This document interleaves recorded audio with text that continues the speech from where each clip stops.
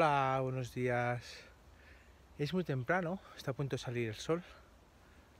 Por encima de las montañas. El sol ha salido ya hace un ratito, ¿eh? Por encima de las montañas no. Y eh, este es uno de mis rincones favoritos de bosque que ha metido mano el ser humano, ¿eh? Fíjate. Está dando árboles. Esto era un sendero, ahora es una pista. Y bueno, aquí seguimos teniendo el bosque precioso. Así que cambio de enfoque, ¿vale?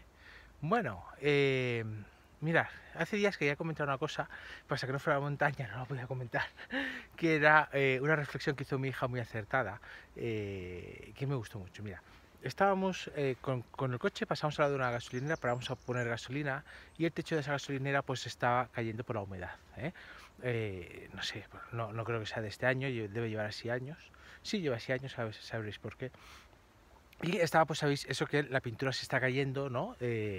Por la humedad. Bueno, pues mi hija me preguntó, papá, ¿qué le pasa al techo de esta gasolinera? Y yo le dije, pues mira, hay humedad y cuando hay humedad, pues la pintura se bufa y se acaba cayendo. Me dijo, ah, mira que llevo años montándome una película con esto, papá.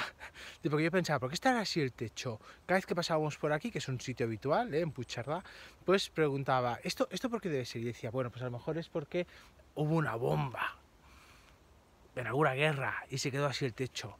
A lo mejor es porque hubo una explosión de gasolina. Y yo cada vez pues me montaba mi película y pensaba una bomba, ¿no? Porque claro, ya he estudiado, está estudiando historia, entonces claro, hace mucho tiempo seguro que lo habían pintado.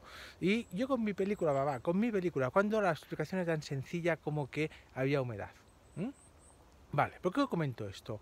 Porque los niños, igual que los adultos, cuando no tenemos una explicación válida, nos la inventamos. Mm, sí, y nos la inventamos con más o menos acierto, como el caso de mi hija. Entonces, fíjate qué interesante es eh, poder darle recursos a nuestros hijos, poder abrir un canal de comunicación para que esas explicaciones mentales que se montan, esas, de hecho mi hija dijo, me montaba unas películas, papi, esas películas que se montan nuestros hijos para poderlas calibrar. A veces me preguntan, ¿nos estamos separando o no va bien la pareja con... Eh, ¿Qué le decimos a nuestros hijos? Pues la verdad adaptada a su edad, sin ningún tipo de duda, ¿eh? pero la verdad, porque imagínate cuántas veces pues nuestros hijos ven, que son muy sensibles y lo ven, ¿eh?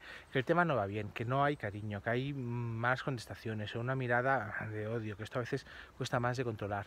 Y ellos se montan en su película. A lo mejor dicen, bueno, pues esto es el amor, pues no es el amor, pues qué les pasa a los papás, pues están con nosotros no están igual, pues a ver si es que se van a separar, no se van a separar, si se separan, tacata, tacata, y se montan en su película.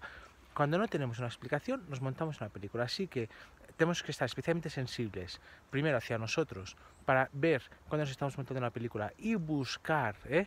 la explicación correcta, que a veces creemos, bueno, ya es esto. No, busca la correcta, porque que tengas una explicación no significa que sea la correcta. Y segundo, especialmente con los niños, ¿eh? tener mucho cuidado y estar muy sensibles a qué películas se montan, porque si no tiene una explicación nuestra, ellos van a dar una explicación y posiblemente sea desacertada que había sido una guerra, decía mi hija, lo de la gasolinera, que podía haber sido, pero no. Así que padres, tíos, maestros, muy sensibles a las explicaciones que dan nuestros chavales, nuestros hijos, nuestros alumnos, nuestros sobrinos, para poder ayudarles a elaborar una explicación correcta, positiva. ¿sí? Bueno, cualquier duda o pregunta, envíame un correo a tomás.tomasnavarro.es y estaré encantadísimo de darle respuesta. Hasta el próximo vídeo, chao.